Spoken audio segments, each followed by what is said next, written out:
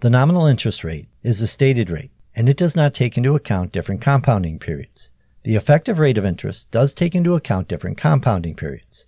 As an example, if a bank pays a stated nominal annual interest rate of 7.5% that compounds quarterly, so four times per year, and someone invests $10,000 into this account, what is the effective annual interest rate?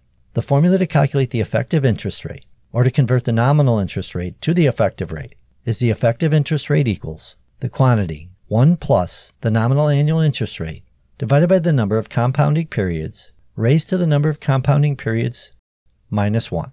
And here is a shortened version of the formula with all of the variables listed.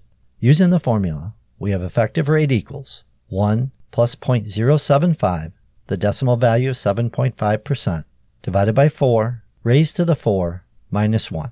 Here is this calculated out, which equals 0.077136, or 7.71%, rounded off as the effective rate or real rate of interest.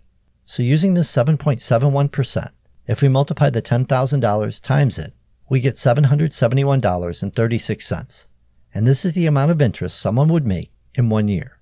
To check this, we can use the future value formula as you see here, and this does check out. All right, my friends, hopefully you got something out of this video. I do have more videos right there for you.